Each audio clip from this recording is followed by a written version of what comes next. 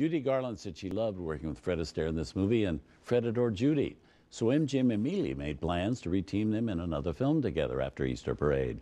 They were all set to do the movie The Barkleys of Broadway as a team, also The Belle of New York and Royal Wedding, just to name three.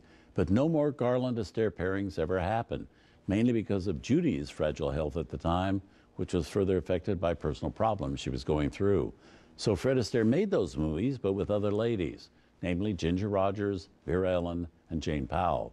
Then as of September 29, 1950, there would be no more talk of a reunion of Judy and Fred at MGM because from that day on, Judy was no longer under contract to that studio. And after leaving MGM, Judy Garland made only five more movies in the remaining 19 years of her life. Two of those movies were dramas in which she didn't sing at all, and one was an animated film in which she wasn't seen at all. Sad thing is, we should have more Judy Garland films than we do. The great thing is that her work in the ones we do have is consistently pretty brilliant.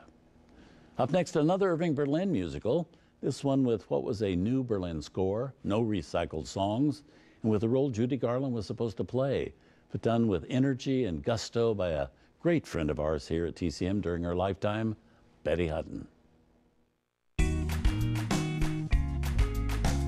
Tonight on Turner Classic Movies, there's no business like show business for Betty Hutton in Annie Get Your Gun.